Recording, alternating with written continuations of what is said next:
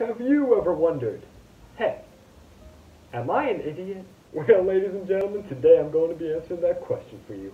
I present you with a very real IQ test that will totally test your IQ level. Just trust me on this one, guys. Now, here's how it works. I'm going to ask you some questions. That's it. So let's get started. Question number one. How are you doing today? Good. Good. Good. Bad. There's only one right answer, so you better get it correct. Did you answer the question yet? You did? Okay. Now, if your answer is A, then you get 5 points.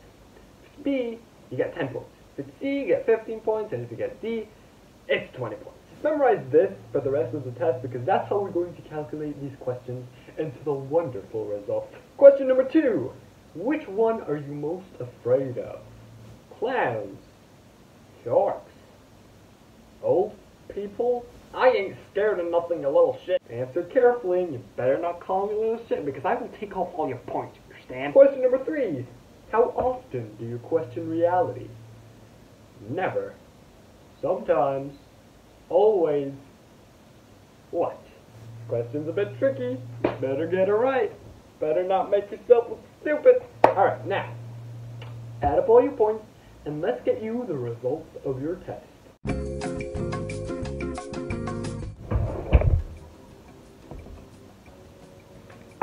Okay, okay, here it is. Okay. If you added up all your points and you got 15 to 20, then you're an idiot.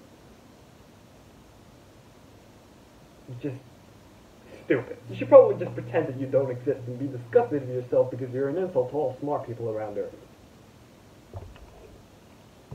Why did my computer just decide this? If you got 25 to 30, then you're average.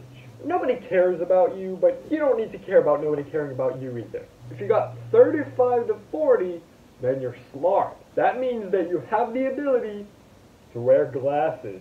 because, let's be honest, only smart people wear glasses, right? That's like, no, it's not about your eyesight. Wear glasses if you're smart. If you got 45 to 60, you're a freaking genius. Your name should be written on people's faces. Thou shall be remembered as a legend for beyond time and infinity itself. Your brain has the capacity to understand what infinity is and grasp the mere thought of infinity. That's right. Oh, and another thing. If you genuinely believe this test actually test your IQ, then you're a fucking idiot. And if you believe that sentence was true, then you're actually an idiot. Thank you and good night.